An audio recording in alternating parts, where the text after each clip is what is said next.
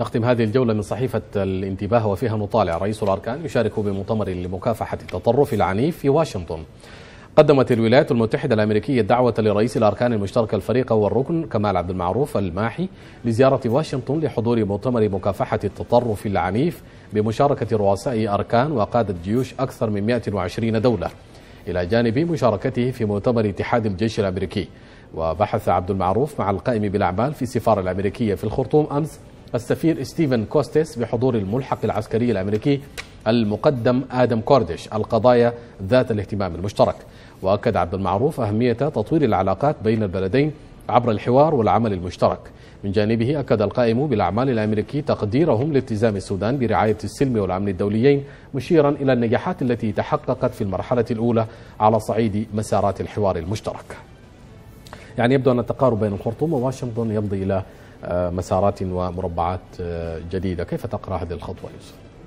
واضح جدا أن الإدارة الأمريكية اعترفت أخيرا بالدور الذي تقوم به القوات المسلحة وقوات الدعم السريع فيما يلي محاربة الجريمة العابرة، الهيرات غير الشرعية، الاتيان بالبشر وأيضا الإرهاب، وهذا أمر ضروري مهم جدا اعتبارا انه هناك جولة مباحثات وشيكه ومرتبطة ما بين الإدارة الأمريكية والحكومة السودانية، ربما يكون الجند الرئيس فيها هو إزالة اسم السودان من قائمة الدول الراعيه للإرهاب، وهو تموضع اضر كثيرا بالسودان، عطل الاستحلاب الفوائد الكلية لقرار الإدارة الأمريكية. الأمريكية برفع الحظر الاقتصادي على السودان عطل أيضا استحلاب الفوائد الاقتصادية من هذا القرار.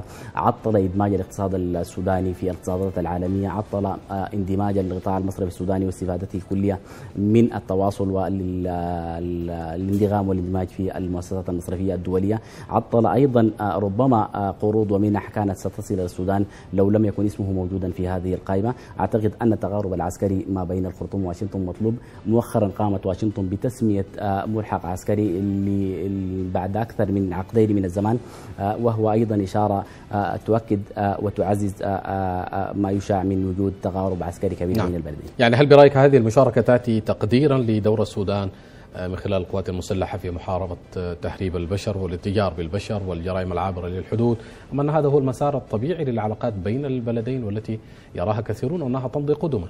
واضح جدا أن الإدارة الأمريكية في ثوبها الجديد الذي يقوده دونالد ترامب لا تهبه كثيرا للثوابت القديمة، لا تهبه لا تهبه ولا تهتم بالتصنيفات التي قيل وتقال في حق الحكومة السودانية، كانت الحكومة السودانية تدمر بأنها واحدة من حواضن الإرهاب، كانت توصف بأنها واحدة من منابع ومنابت العمل المتطرف الذي يزعزع الأمن والسلم الدولين، هذه كلها منطلقات لم تعد فاعلة ومدية في تحديد السياسة الأمريكية الخارجية، دونالد ترامب متمرد ليس على التابوهات القديمة فقط وانما يسعى لتحطيمها وتكسيرها كليا هذا يعزز فرص أن يجد السودان نفسه في مسارات تقود في خاتمة المطاف إلى إزالة اسمه من قائمة الإرهاب التي كما قلت عطلت كثيرا من التفعيل والاستفادة من علاقات السودان الخارجية. كيف يبدو وضع السودان في قائمة الدول الراعية للإرهاب في المستقبل في ظل هذه التقاربات في مستوى العلاقات الرسمية بين البلدين؟ هو واقع الحال كما قلت يشير إلى أن هناك تقارب وتقارب وتقارب كبير جدا من شانها أن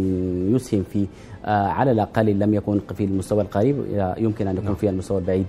ربما ربما سنرى اسم السودان مزالا من هذه القائمة. ربما نرى تقارب أكبر الآن المطلوب أن يشارك السيد رئيس الاركان المشتركة في هذا الاحتفال الكبير وهو احتفال يمكن أن يجعل السودان معترف به ليس في الداخل الأمريكي وإنما في المجتمع الدولي بشكل كبير. كاتب الصحفي والمحلل السياسي يوسف الجلال شكرا جزيلا. شكرا جزيلا.